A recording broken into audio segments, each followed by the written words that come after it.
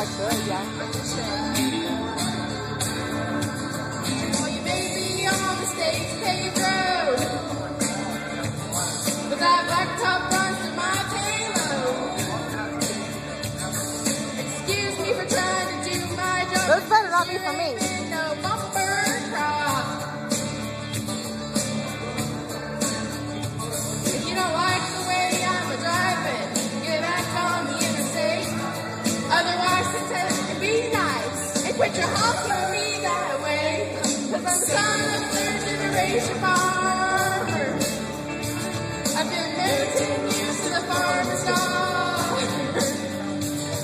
I got two boys in the county 4-H. I'm a lifetime sponsor of the FFA. Hey,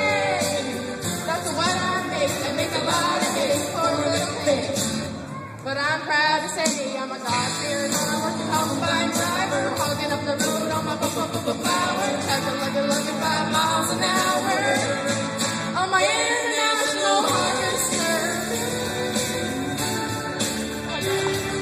We know you got your own Dollar no? Huh?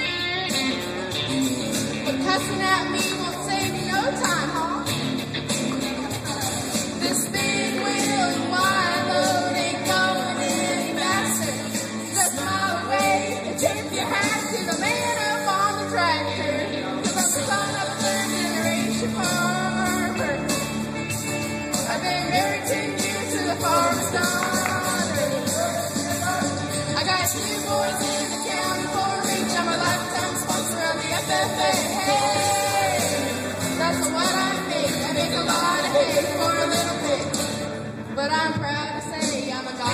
hard-working combine driver, hogging up the road like a